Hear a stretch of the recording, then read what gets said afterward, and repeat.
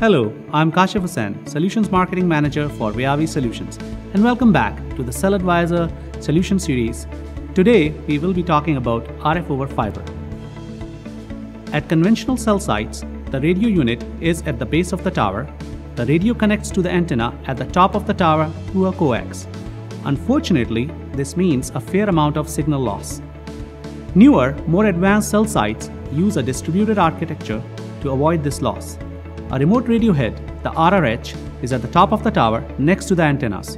The RRH connects to the baseband unit, the BBU, at the base of the tower through a fiber. This eliminates the signal loss, but now all the RF equipment is at the top of the tower, and RF maintenance requires an expensive and sometimes risky tower climbs. These climbs have accounted for over 43 fatalities in the last five years alone. Fortunately, when equipped with RF fiber technology, the Viavi CellAdvisor base station analyzer performs RF troubleshooting and testing at the base, increasing safety and reducing OPEX.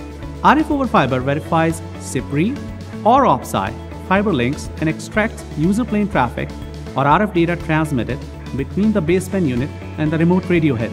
Now, a technician on the ground can easily certify a fiber to the antenna RF over fiber lets technicians perform fiber inspection,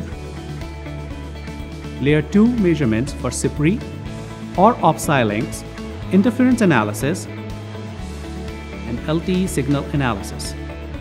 CellAdvisor is the easy to use, innovative, and comprehensive base station analyzer from Viavi.